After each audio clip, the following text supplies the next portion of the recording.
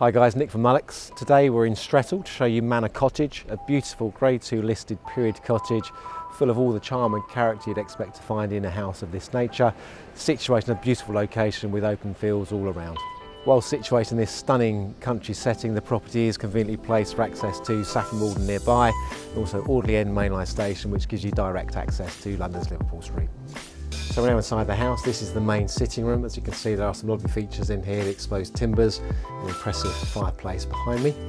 There are two further reception rooms, this being the dining room. There are windows to the front and rear, and a door out to the garden, as well as a door that leads into the kitchen.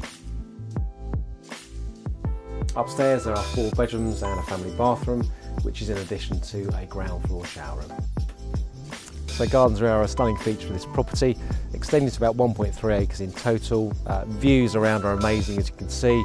The gardens themselves are laid mainly to lawn, containing a large pond, lots of trees, tennis court and an interesting rotating Victorian summer house.